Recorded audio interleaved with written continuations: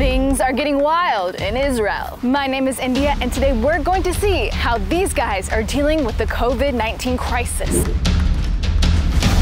Humans aren't the only ones dealing with big changes right now.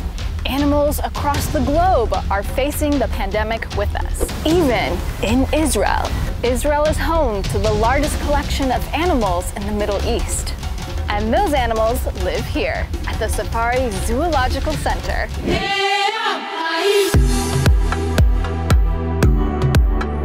There are 1,600 animals here, from elephants, monkeys, to tigers. Many of them walk around freely, just like they do in the wild. Normally, you can come here on a safari in your own car. The animals might even come to say hello. But since Israel went into lockdown to prevent the spread of COVID 19, the animals have had huge changes in their routines. There are no visitors for them. This has a major impact on the animals. Israel's very own wildlife rehabilitator, Sophie, sees this firsthand. Some of the animals really miss the visitors. Like the giraffes. Other animals do enjoy the peace and quiet, but we are doing our best to keep all the animals engaged. That is why keepers are even trying new games with them. You might be thinking, this is just another zoo, but the Safari Center's mission is to preserve wildlife. That's why they have a hospital for wild animals who don't normally have access to healthcare. Each year, 6,000 animals that need help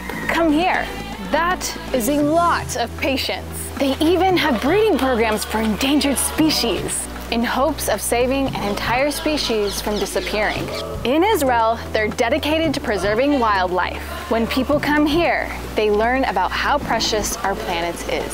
So until people come back, these heroes dedicated to wildlife conservation will continue to give these animals the love they deserve. When returning back to normal life, whatever that may look like, it will take some adjusting for the animals, just like it will for us.